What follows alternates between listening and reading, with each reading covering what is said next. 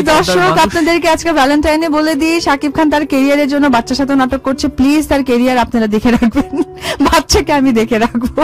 Big বিপক্ষে বলছি না। আমি এটুকু বলতে চাই আমার বাস্তবতা বলছেন। আমি বাস্তবতা বলছি এক্স্যাক্টলি বিপদ মানে আমি বিপক্ষে বলছি না বাস্তবতা বলছি। আচ্ছা। কারণ আমি একটা কথা আমি বলি সাকিব যে কথা বারবার বলছেন অপু একটি সরি বললেই হতো। আমার দর্শকদের কাছে প্রশ্ন যে দর্শক কোন মেয়ে যদি সামান্য একটা ব্যাংকেও চাকরি করে দশ হাজার টাকা ইনকাম করেন সেই মেয়েও কিন্তু ঘরে ঢুকলে তার বাবা মা বা তার স্বামী তাকে একটু রেসপেক্ট দিয়ে কথা বলেন। সামান্যতম কারণ প্রত্যেকটা মানুষই তার সম্মানটা আহ, খুব ভালোভাবে দেখেন। আমার কথা হচ্ছে যে আমি আপনাদের প্রিয় একজন উপবিশ্বাস।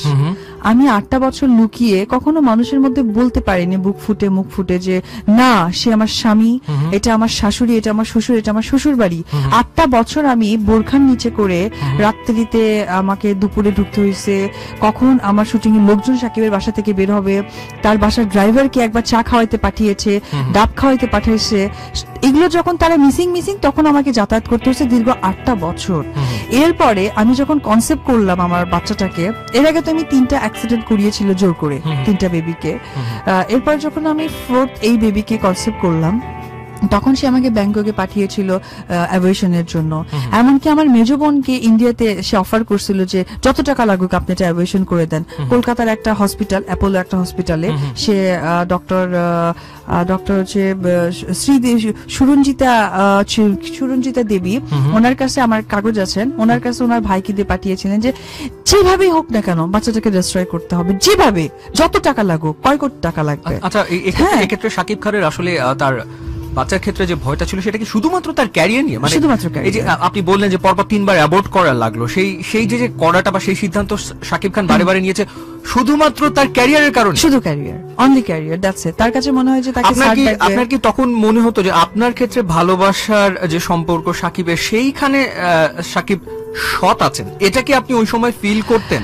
আমি এখন বুঝতে পারলাম সিদ্ধান্ত তো আপনি পালন করছেন। হ্যাঁ। কিন্তু এটা কি না সবচেয়ে বড় কথা কি ভাইয়া আমি তো ওকে ভালোবাসছি যার কারণে আমার ওর প্রত্যেকটা ভুল ত্রুটি ওর প্রত্যেকটা ডিসিশন আমার কাছে খুব পজিটিভ ভাবে নিতাম। কারণ আচ্ছা। আমি তাকে লাভ করি তার প্রায়োরিটিটা আমার কাছে মাস্ট ছিল।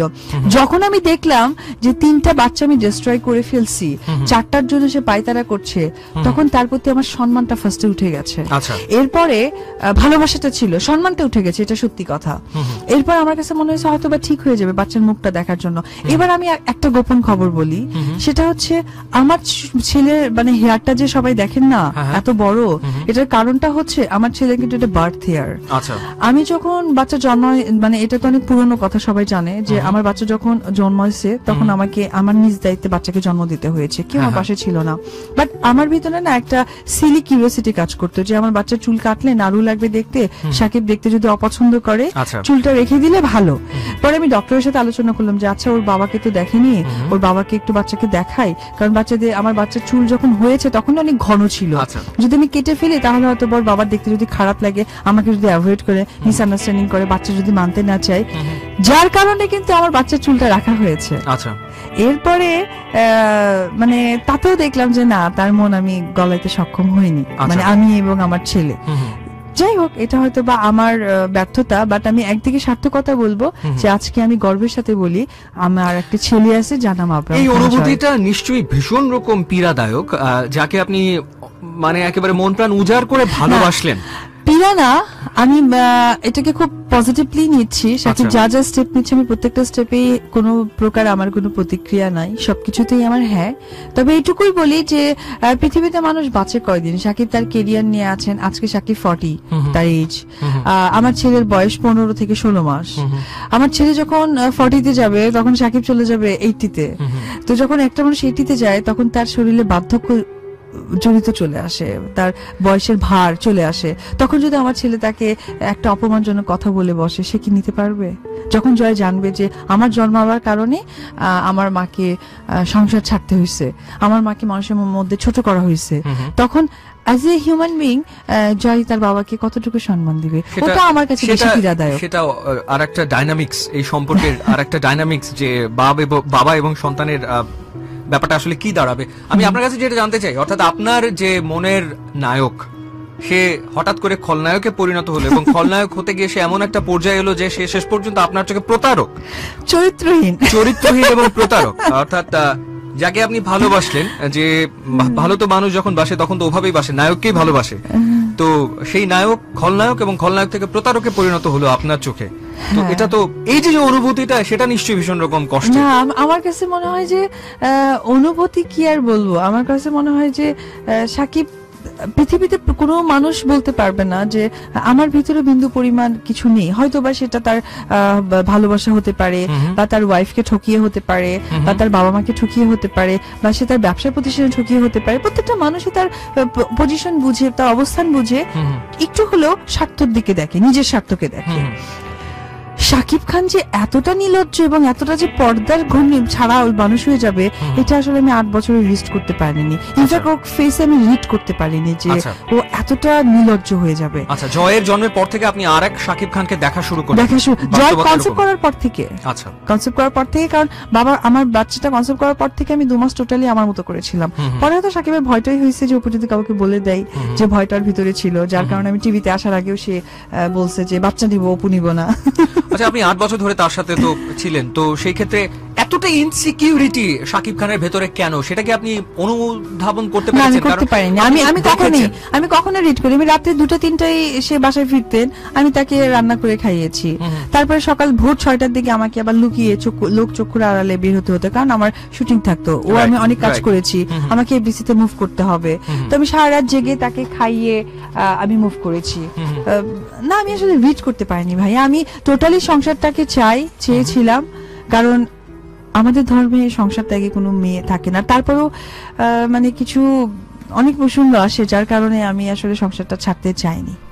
না আমি বারবার এই কথাটা কেন বলছি? কারণ সাকিব খান তার ক্যারিয়ারে একটা সময় একটা অপ্রতিদ্বন্দ্বী জায়গাতে ছিলেন, যেখানে আসলে তার কোনো কম্পিটিটর ছিল না। বাংলাদেশের ফিল্ম ইন্ডাস্ট্রিতে শাকিব খান এমন জায়গায় পৌঁছে গিয়েছিলেন, সেখানে আসলে তার আর কোনো প্রতিদ্বন্দ্বী নেই। এরকম একটা জায়গায় যখন একটা মানুষ থাকে, সে কি করে ইনসিকিউরিটিতে ভোগে? যে আমার সম্পর্কের কথা জানাজানি হলে, আমার সেটা জানাজানি হলে, আমি ওখান থেকে ধপাস করে নিচে পড়ে যাব। আসলে অনেক স্ট্রাগল করে আসছে তো, আর ও তো একটু মানে অনেক স্ট্রাগলিং করে হিরো হয়েছেন। সে কারণে। ফ্যামিলির সাপোর্টটা তো ওকেই পুরোটা দিতে হয়। ওই ভিতরটা ওই ভয়টা তার কাজ করে। সেই ভয়টা তার এখনও কাজ করে এখনও কাজ করে যাচ্ছে। এত বছর ধরে ইন্ডাস্ট্রিকে সার্ভ করার পরও তার ভিতরে হ্যাঁ। ভয় কাজ করে যাচ্ছে। ভয় কাজ করে যাচ্ছে। বাট এই ভয়টা তার ভিতরে কাজ করছে না যে আমি যে চরিত্র নিয়ে ঘাটাঘাটি করছি আফটার টেন ইয়ার্স পরে আমার বাচ্চাকে আমি গিয়ে কি জিজ্ঞেস করব? সেটা নিয়ে তার বিন্দুমাত্র কোনো মাথা ব্যথা না মাথা ব্যথা তার সন্তান আমার ছেলেকে গিয়ে যদি আমি বলি যে বাবু তুমি ওই মেয়েদের সাথে ওঠা বসা করো না। হ্যাঁ এটা তোমার জন্য বেটার হবে না। আফসল তো সে তার বাবা।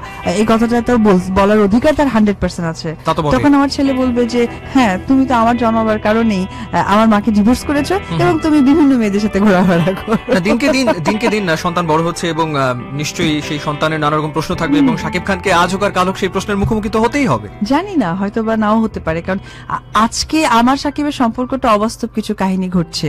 মানুষ বাচ্চা হবার পরে সাথে সংসারে মিল আসে এটা আমরা যেমন আহ, দেখে এসছি শুনে আসছি। এক- এক ধরনের বলতেই পারেন যে এটা একটা প্রথাগত হয়ে গেছে। বাচ্চা হওয়ার পরে অ্যাটলিস্ট কিছু হয় না।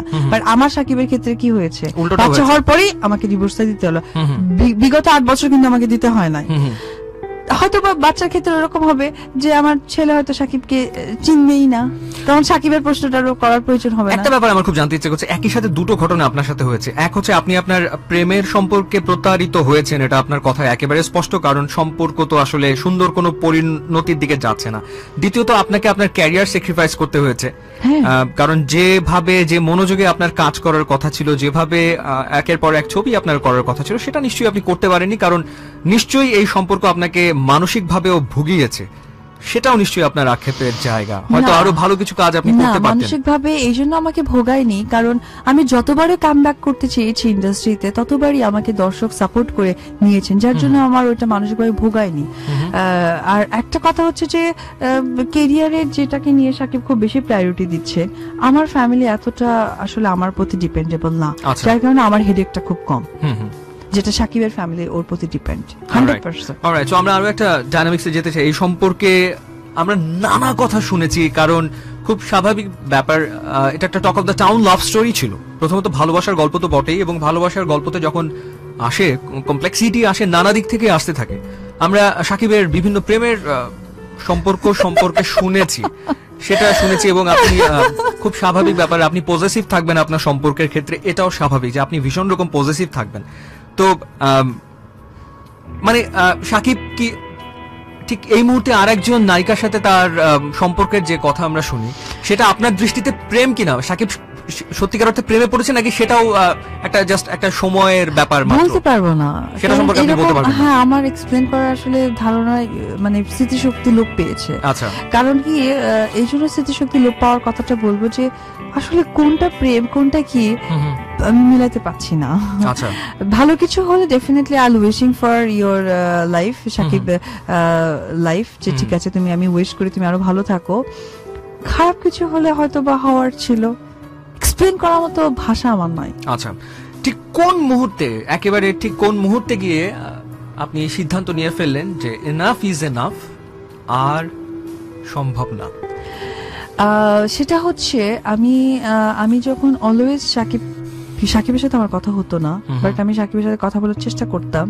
তো সাকিবের হচ্ছে গিয়ে একজন সেক্রেটারি আছেন পার্সোনাল। সেটা হচ্ছে গিয়ে মনির। আচ্ছা। উনি অলওয়েজ কন্ট্রাক্ট করেন। তো একটা মেয়ের অনেক মানে পার্সোনাল ইস্যু থাকে যেগুলো চাইলে তার মা বাবার সাথে বা ভাই বোনের সাথেও কিন্তু শেয়ার করা সম্ভব হয় না যেটা শুধুমাত্র তার হাজবেন্ড হলে খুবই ভালো হয়। এমনকি সন্তানও হয় না। তো অনেক কিছু ব্যাপার থাকে যে ব্যাপারগুলো হয়তো বা আমি চাচ্ছিলাম সাকিবের সাথে ইন্টারাক্ট করতে। সরাসরি সাকিবের সাথে কথা বলতে চাইছিলেন আপনি তো তখনও মানে কেমন জানি একটা ছাড়া ছাড়া ভাবে। এরপরে আমি যখন প্রেশার দিলাম যে আমাকে আর আমার বাচ্চাকে বের করো। আমি আমি জাস্ট মনে করতাম এনাফ আসলে আমার দেওয়ালে পিঠ থেকে গেছে। কারণ আচ্ছা। নয় বছর পর আমি আর টলারেট করতে পারছিলাম না। এই আচ্ছা। জন্য সরি টু সে দর্শক হয়তো বা অনেকে আমাকে ভুল বোঝে। কিন্তু আসলে আমার জায়গায় এসে আপনারা